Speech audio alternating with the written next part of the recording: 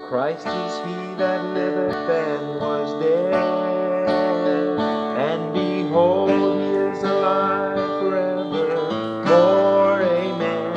And he has the keys of hell and of death. Christ is he that